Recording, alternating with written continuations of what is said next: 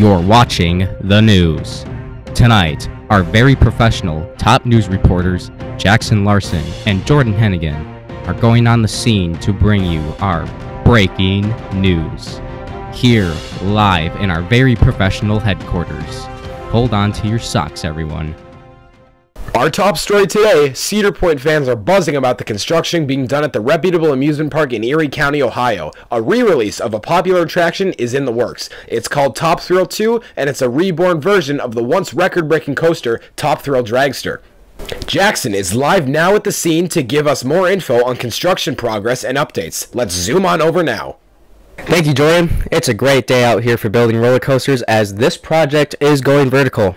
I spoke with officials earlier today, and we should expect this record breaking coaster to be ready for the 2024 season. The structure behind me here will send riders skyrocketing backwards about 101 miles per hour up a 420 foot spike just before they ascend towards the current top hat structure at a final speed of 120 miles per hour. This is all thanks to the new LSM or linear synchronous motor launch system and Cedar Point's manufacturing partner Zamperla.